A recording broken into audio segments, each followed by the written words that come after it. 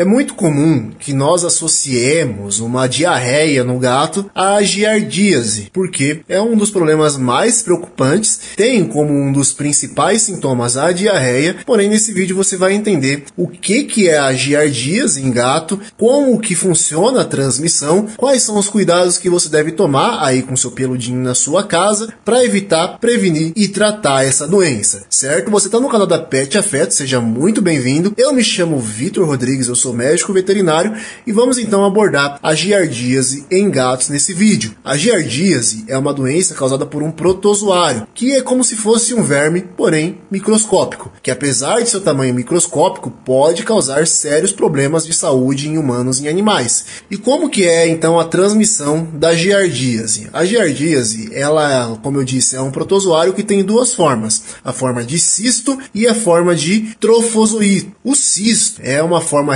resistente da giardia que pode sobreviver no ambiente por longos períodos. Quando ingerido por um hospedeiro, ou seja, por exemplo, o gato ou até mesmo nós seres humanos, vai acontecer desse cisto se transformar em um trofozoíto. O trofozoito, por sua vez, é que vai gerar todos os problemas, todos os sinais e os sintomas clínicos. De início, esse protozoário vai se instalar na parede do intestino, causando pequenas feridas, às vezes levando a infecções secundárias por bactérias, que daí então, por isso os sintomas às vezes podem ser muito inespecíficos. A gente já vai falar sobre isso. A giardíase é uma zoonose incomum em gatos, mas seres humanos podem contrair a doença através da ingestão desses cistos da giardia.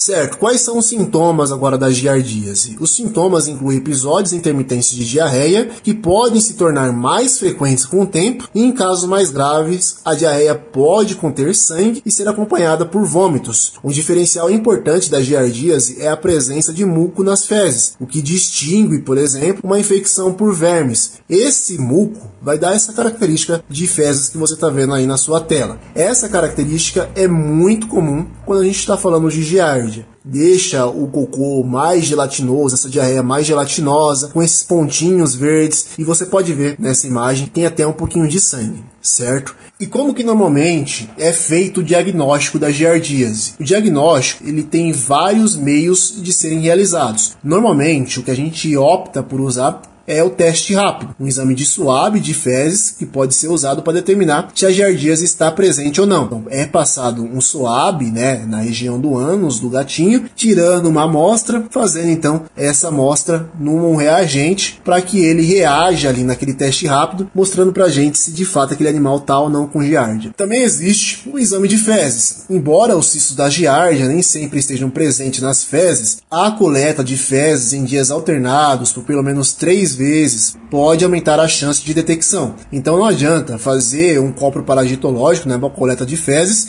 e esperar que o resultado negativo seja de fato a ausência de giardia. É necessário repetir esse teste pelo menos três vezes. Há veterinários que preferem repetir no período da manhã, à tarde e à noite. Outros, como eu, por exemplo, prefiro fazer esse teste em um dia e alternar, fazendo um dia sim, um dia não, fazendo pelo menos três vezes, certo? Agora vamos falar sobre o tratamento. O tratamento da giardíase visa eliminar o protozoário e aliviar os sintomas. Medicamentos como Drontal, Hellfine, Fenzol, Top Dog, eles contêm um agente ali, né, uma constituição que é capaz de enfrentar o protozoário da giardia, além, é claro, de enfrentar outros vermes também.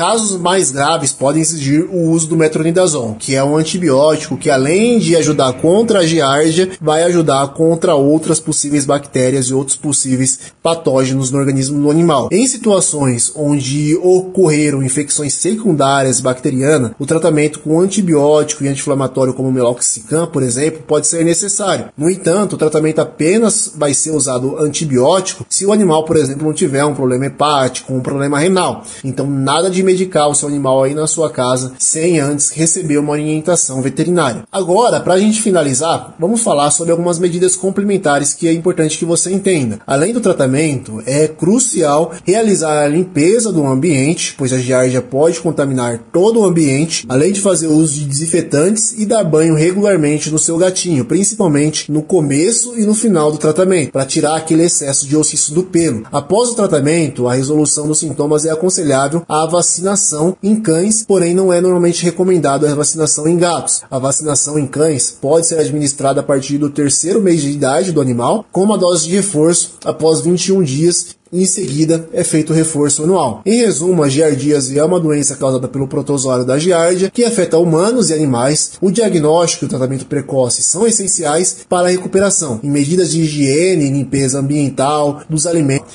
desempenham um papel importante na prevenção e da disseminação da doença. Consultar um médico veterinário é sempre fundamental para o tratamento adequado de ardiardíase em animais de estimação.